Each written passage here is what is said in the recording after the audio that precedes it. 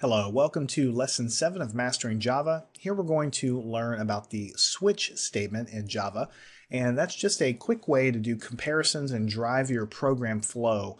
The, the thing to keep in mind with the switch statement is that everything you can do with the switch statement can also be accomplished by other uh, avenues in Java, such as if statements.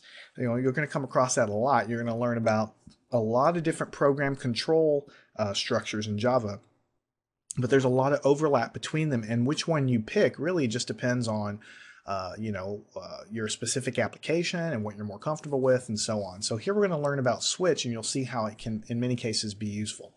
Let's say uh, you're getting a grade in a class and that grade can be a b c or d so we'll call it grade.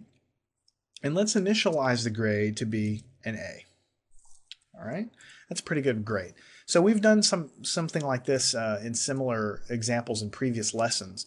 Um, but let's go ahead and print some messages out on the screen dependent upon what, you know, what grade that I've actually have. Notice when I define the variable grade, I define it as a character variable. And so when I'm assigning the value to it, I put it in single quotes here. That's what we do when we deal with character variables.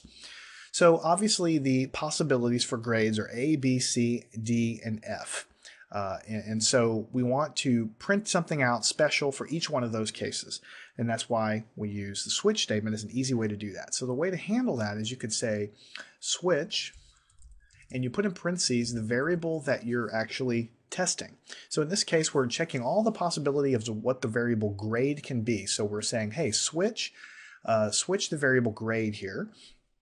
And then you need to open a curly brace and hit enter, which puts a closing curly brace here. Now everything inside of these two curly braces, this one and this one, comprises what we call the switch statement here.